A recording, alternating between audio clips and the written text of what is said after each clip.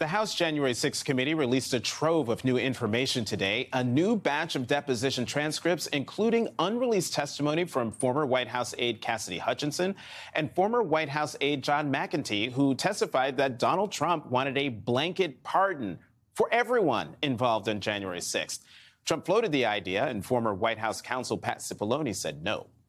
The transcripts add to the 845 page report released by the committee Friday detailing the extent of Trump's plot to overturn the election, alleging that Trump or his inner circle engaged in at least 200 apparent acts of public or private outreach, pressure, or condemnation targeting state officials to overturn election results. That includes 68 meetings, phone calls, or texts aimed at state, or local officials, 18 public remarks targeting them, and 125 social media posts.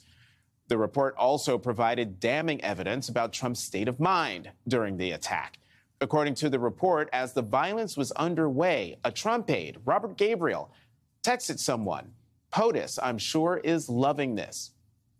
The decision whether or not to pursue criminal charges against Trump now lies with the Justice Department, but the committee made recommendations on how to prevent another January 6th from happening, notably urging congressional committees to examine a formal mechanism to evaluate barring Trump and others mentioned in the report from holding future office under the 14th Amendment.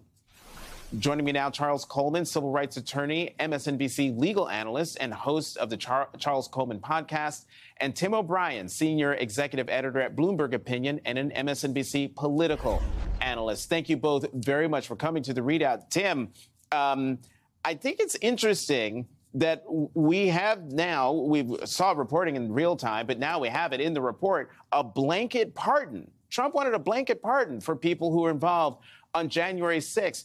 You're you're an attorney. You know that. You hear that. It's in an official government report. What do you think that does over at DOJ? Well, people don't seek pardons unless they think they've committed a crime.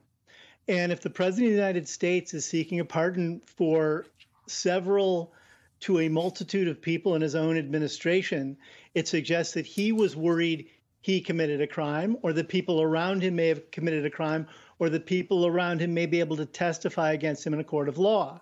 Uh, it's also interesting that his own attorneys advised him not to do this because I think it's it it it it, suggests guilt. Mm-hmm. Um, I don't think it should surprise anybody that that Trump sought to do that. I don't think it should surprise anybody that people in his own administration were looking for a pardon as the clock was ticking out on his tenure in the White House. But of course, the American public should worry about it because as the January 6th report showed, um, the January 6th event wasn't a single day event. It was premeditated. There was planning for it that began months before that date. There were activities that continued after that date, and it was a criminal conspiracy. Mm-hmm. And I think the act of seeking a pardon is just another indication of possible guilt.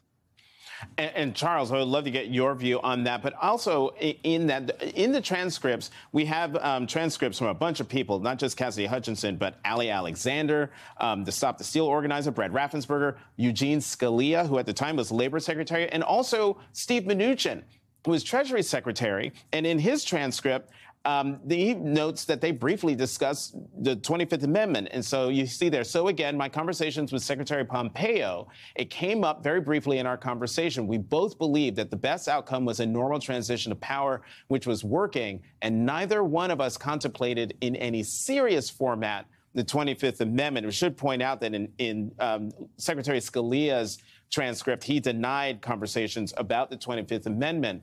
But you put all I would love your le- your legal analysis of both this conversation, whether it was serious or not, about the 25th Amendment, on top of Trump saying, "Hey, blanket pardons for everybody." Well, you know, Jonathan, I think that there are two different ways to look at this, and Tim hit the nail right on the head with his remarks about the fact that a large part of what we are seeing here is a person who is embattled with the truth, does not want to face it, and is insistent upon using every means at his disposal to go about exploiting different parts of our Constitution and different parts of the law albeit illegally, to try to maintain power. And I think that on a certain level, there's the shock and the awe that's associated with that.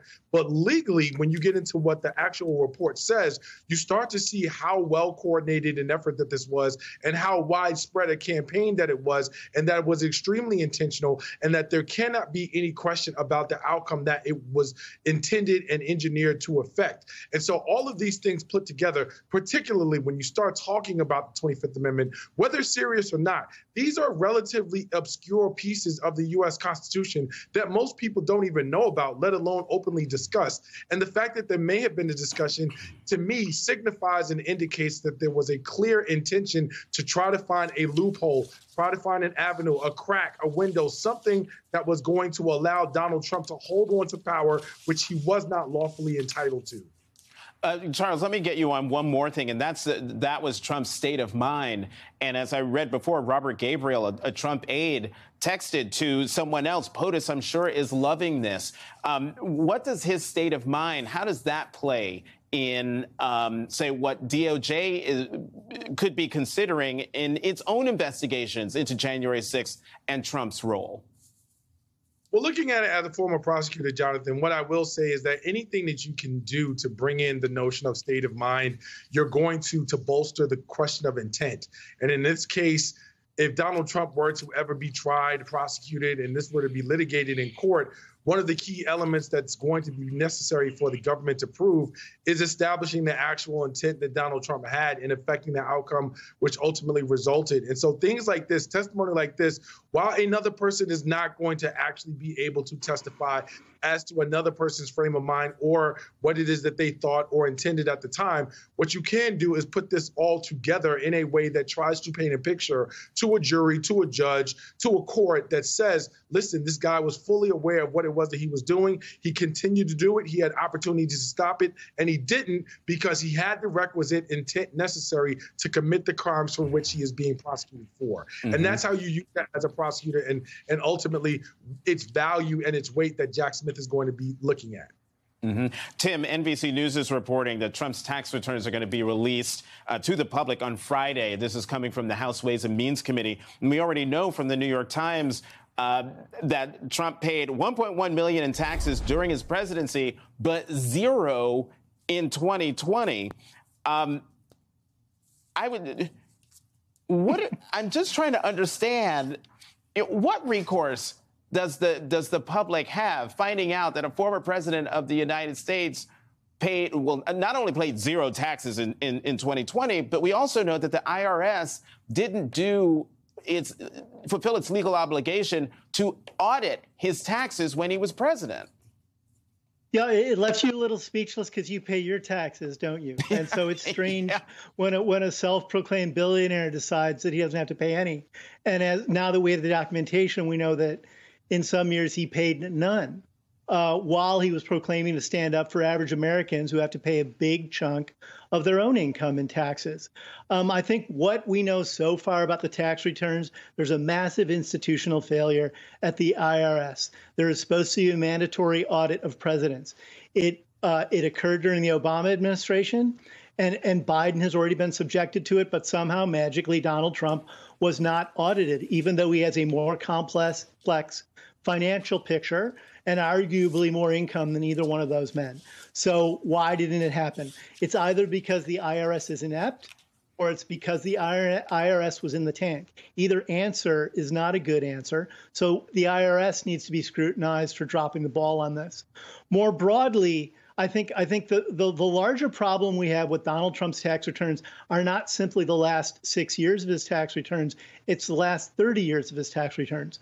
We don't have a good picture on the kind of foreign or domestic financial influence that came to bear on him before, during, and even now, before and during his presidency, and even now. And this is not a partisan issue. If we believe in good government, whether a president is a Democrat or Republican, they should be financially transparent so we know that they are not conflicted when they're making public policy. And we still don't have enough years of returns from Donald Trump to get a full sense of that. And it remains a national security issue, and it remains an issue around good government. And I think this release should be the first chapter. It shouldn't be the last step. Tim O'Brien, Charles Coleman. Thank you both very much for coming to the ReidOut.